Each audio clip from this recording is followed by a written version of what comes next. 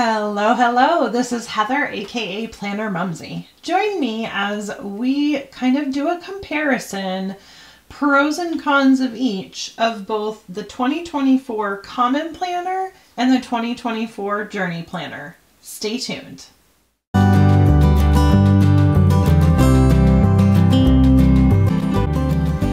Hey y'all, so I literally just finished filming the other video and I knew that this one was gonna kind of take a little while for me because I really have to process out a few things to make a final decision. I am doing this video without making a final decision. Um, I really want to make sure that I 100% know I'm making the right one for 2024. There are things about each one of these pros and cons that I like and things that I dislike about both of them. So it's just kind of a matter of me figuring out can I make one more work better than the other? And I really have to look at my Sterling Ink planner for 2023 to have an idea of what I felt worked for me and will this one work for me in 2024. Okay, now, let's get right into that. I'm actually moving my planner that I used, my Sterling Ink planner that I used for 2024, 3, sorry, 2023, up at the top. Now, there are some things about both of these. Let's just talk about the reality of sizes. These two books are pretty much the exact same width and pretty much the exact same height. One thing that you can see as a difference here is Sterling Ink has the gilded edges, whereas Nisha does not in the Journey Planner. Um, now, she does have the shaded like pages uh, for me personally, I've never really used those, even with Hobonichi. My eyes are just not that great. So I just, I just don't find, like I can't really pull to it and know I'm going to get that, that exact page that I need. So the, the shading really is pointless for me personally. Again, you know, this is my opinion and it doesn't have to be yours. It literally is just me processing out what I know works for me and what doesn't. So I guess in, in one sense, Sterling Ink Pro is Gilded Edges, Nisha's um, Journey Planner Con is no Gilded Edges, in my opinion. Now, this is another thing that is a pro and con. Let me get to the pages here. All right. Sterling Ink. Only 2024 planner. Nisha's Journey Planner 2024, 2025, 2026. Pro for the Journey Planner, in my opinion. Con for the Sterling Ink. Okay. Then we have these pages here. Same with this. pro, in my opinion, again, mine is a pro actually for Sterling Ink because hers are just blank. Whereas even though they are minimal, small, and would be easy to cover up, Nisha put Dream, Believe, Achieve and Manifest Your Dreams up here. I don't like that stuff. I way prefer super plain pages for these because I always use them for what I want. And um, again, I understand it's her design. It was her choice. That's, you know, more power to her. Me personally, it's a con versus a pro. I just prefer the minimalistic, I'm going to do what I want with it. So keep it simple. Okay. Then we have the goal breakdown pages. I will say that I, in this one, it's kind of a toss up because Sterling Ink used a blank one here and then she did someday, one year, half year, quarterly, monthly, weekly, daily. And Nisha used goals, action steps, first, second, third, and fourth quarter. So it's really, if you're a goals person, which I am not, I've talked about this many times, um, it's just going to depend. I think if I was a goals person, it would probably more be a pro for Sterling Ink because her boxes are bigger versus Nisha's being in the journey planner being pretty small and rectangular. My handwriting is big and fat, so I would need to use more than one box for those. Then these are the quarterly breakdowns between Sterling Ink and um, I keep saying Sterling Ink. I need to just say the Common Planner and the Journey Planner. Um, you will see here that the Common Planner has these priorities January, February, March, and then January, February, March. Whereas it is broken down into just four quarters here on this one with every this box being an entire month. So January, February, March, April, May, June, July, August, September, all the way to December. Just different. It's just a different layout, uh, in my opinion. It's really not, I'm not going to say it's good or bad one way or the other. It's it's preference. And because I'm not a big goals person, that I'm just not going to pro or con either one of those because they're just they're just a different layout, but you have options. Now with Sterling Ink, I mean, with the Common Planner, get it together, Heather. She jumps right into the monthly, whereas Nisha in the Journey Planner has a very similar kind of Hobonichi-esque feel where you could use this as a overview or future planner I used this in my weeks when I did my weeks for like birthdays and that kind of stuff. And it's really nice to be able to just jump back and look at that quick. Then she has full-on trackers. The Journey Planner does. And it goes, each one goes all the way across. So she has two months on two pages. And it goes all the way to December. Then she has, da da da, um, she has the weekly um, and you can see the dates are up here. So it, it, starts Monday goes all the way to Sunday. Food trackers. And she has the whole entire year for those which again for some people they would think that that's wasted pages. For me it actually works out really nicely because I was using a food tracker in a different planner. So these are the total pages. It starts, hang on, I gotta look close. It starts on page 24 and it finishes on page 79. So you can see those are her pages there. Then she gets into the monthly. So for me, personally, this is again, personal opinion, but for me, I really do like the food trackers. So this has kind of elevated the planner a little bit for me because it's eliminated something else that I would have had to use anyway. Then getting into the monthlies, just kind of moving this because it's in the way. Getting into the monthlies, um, I am it's hard. This one's a hard one for me because there's a few things that I like about each one and there's a couple things that I dislike.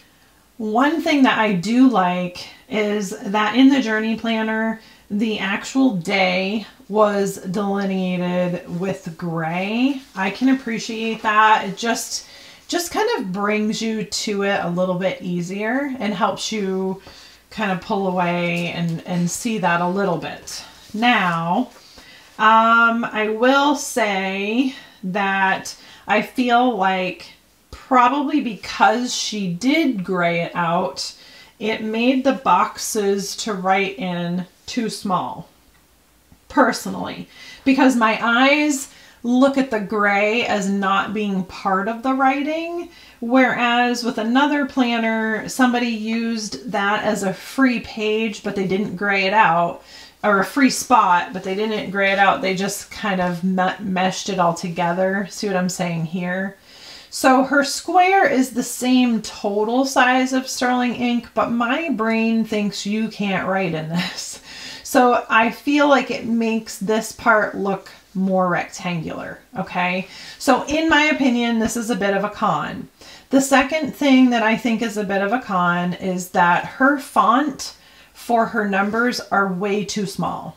They need to be much bigger to be able to see that with my old eyes. And you can see with Sterling ink how she did that. So it's a positive for sure from Sterling ink. And sorry, I'm trying to get both in frame. And a bit of a negative when it comes to the journey planner um, versus the common planner because see like it's hard even from here to see it whereas you can pretty clearly see those numbers there.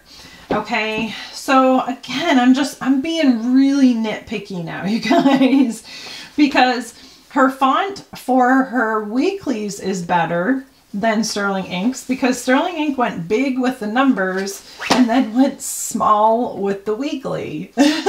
so it's just like, it's like a bounce back and forth. Like I like this better than this, but I like this better than this. So this is why I'm really struggling, y'all, to actually find which one it works for me best. Okay, those are the monthlies. Then, and they both are lumped together. They both have a, they both have the December from the prior year and they both have January for the next year.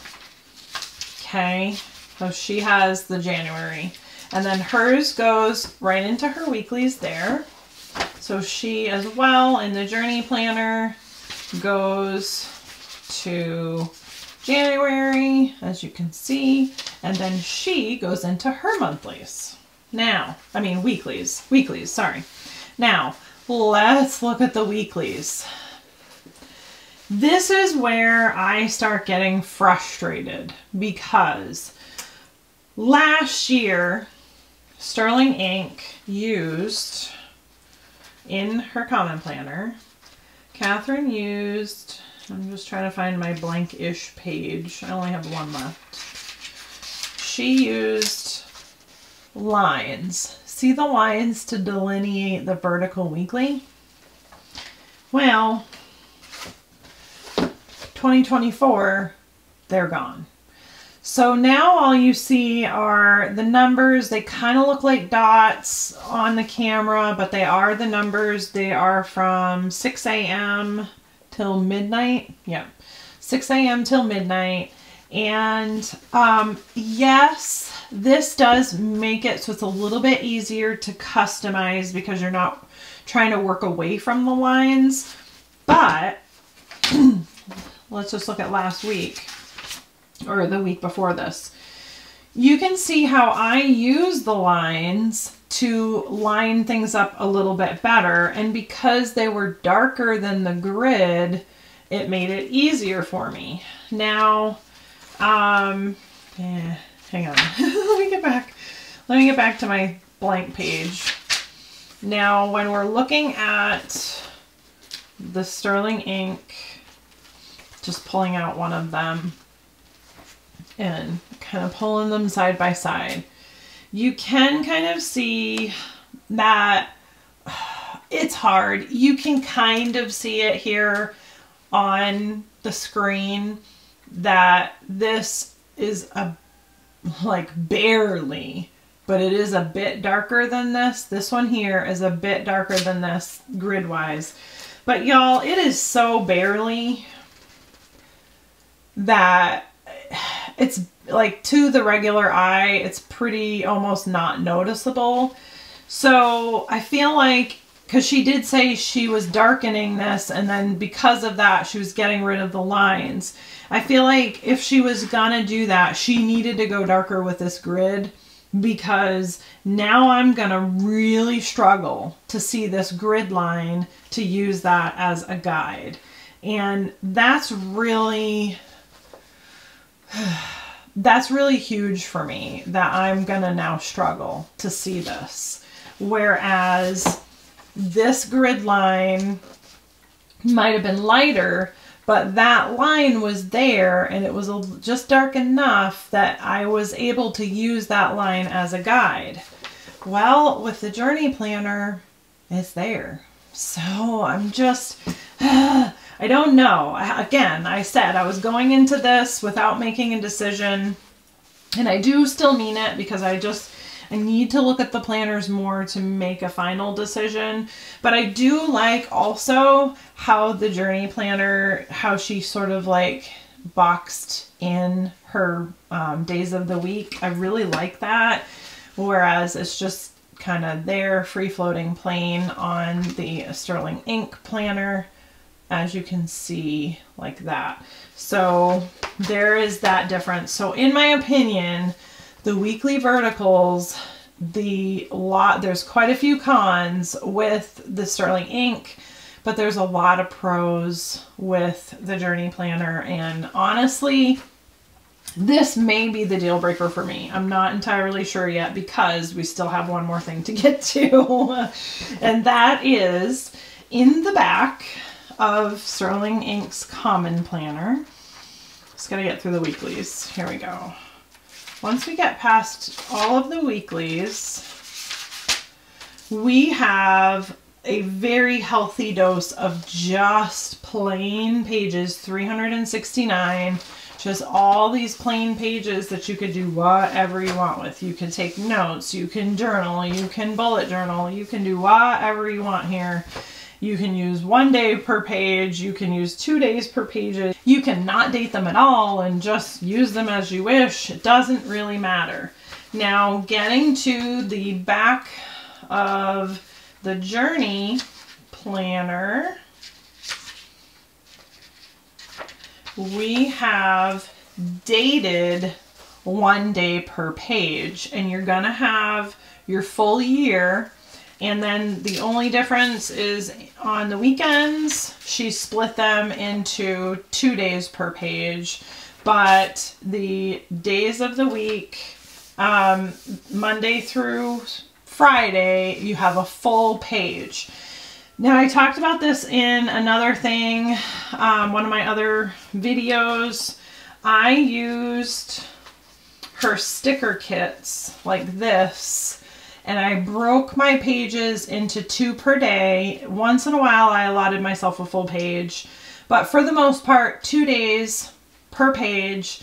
And I just did daily overviews for the most part. Like, I want to say the next pages, like this page here, I literally used for testing fountain pens because I was so busy during this time. I didn't have time to write anything. So this is me literally just using up pages but I broke it out this way and I've already gone until the end of the year and as you can see I did also put in kind of like some of my own trackers in the back but I have all these pages left to do whatever I want with which I'm already at the end of the year. I'm not going to do anything with them hardly now but that's about the only hiccup for me with the dated day per page is I feel a bit hemmed in that I have to use every day every page every day. And that in my opinion is a bit of it's it's like 50% a con 50% a pro. Why? Because because I liked the aesthetic of a um, printed out date, then now with the sticker, you can feel a bump here on both sides. And that's a bit annoying because even though my pages look really nice, there is a bit of a bump because I literally have these stickers in almost the same place all the way through. I did kind of rotate them a little bit. I started rotating them um, like I would go here and here and here and here, you know, there and there something to try and rotate them a little bit so it didn't bump quite as much. But um, yeah, they're still there because like I can feel them on this side all the way through. So I kind of know where they've been put everywhere. Yeah, so that's a, that in using it this way was a con for me. It's not necessarily a con for the common planner because she gives you these pages to do whatever you want, but it's a con for me because it creates that bump. Now, the other thing is the cost of purchasing these stickers. I won't have or incur that cost because this is already dated and it's already here for the entire year. so y'all, can you see my struggle? I really am still to this minute not sure which one of these I want to use. Um, but I'm for sure, I know that it's down to the Common Planner and the Journey Planner. Out of all of the planners I've used, that's out of that's out of Aura Estelle, that's out of Wonderland 222, that's out of Paper Test, that's out of Planner Monkey Co. Um, all of those planners, I'm I've come down to two. So these are the two that between the pros and cons, I know can work the best. And at the end, um, the journey planner has maybe like eight. Oh, this is not the journey planner. Uh, the journey planner has maybe like eight leftover pages right here that are not written on at all. And then um, obviously like you, yeah, you know, 369 blank pages with the Sterling ink. Okay, y'all, I need your help. I need your opinion. Going through these with a fine tooth comb with me, now knowing a little bit more about how I plan and what works for me, what is your opinion? Which one of these two planners do you think would be better for me? And then tell me, for you, what do you think are some pros and cons between both of them? I think I already have an idea um, for both of them, what what some of y'all might say. But what are what are some of those pros and cons that you have between each of them and which one would you choose? I would love to hear your thoughts. I will be linking both of these companies down below. I purchased all of this stuff with my own money and no longer on the PR team for Sterling Ink. She hasn't had one in probably, I mean, going on a year, not quite a year, but pretty close to it. So I definitely, you know, purchased both of these. Oh, the only other thing that I didn't mention was price. Actually, before I cut out, let's talk about that. The Common Planner full year with the gilded edges was $48 shipped. Okay, $48 shipped. The Nisha um, Ferdinando Journey Planner was $75.84 shipped. Whoa! Yeah. We're talking quite a difference in price there, y'all. That is kind of for some going to be a pretty big deal breaker. I'm just kind of doing the math out here.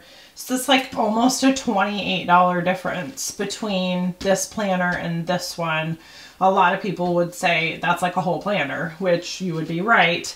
Now I can say that um, the Journey Planner is new this year. She doesn't have a big sticker shop and is not selling all those other things. So she probably just doesn't have the capability that Sterling Ink would have that would help Sterling Ink get her, her pricing down. Mm. Definitely, there, there are some pros and cons there that you definitely need to look at, but there's basically like a $38, I mean a $30 difference between these two planners as well. So that kind of makes a little bit of a difference. The other thing for me is what are the chances I'm going to sell this for what I paid for it versus selling this what I paid for it. Mm, that's another factor to consider as well. I appreciate you guys and I appreciate you helping me out. If you have any questions, feel free to comment down below, like and subscribe, and I will see y'all in the next video. Bye!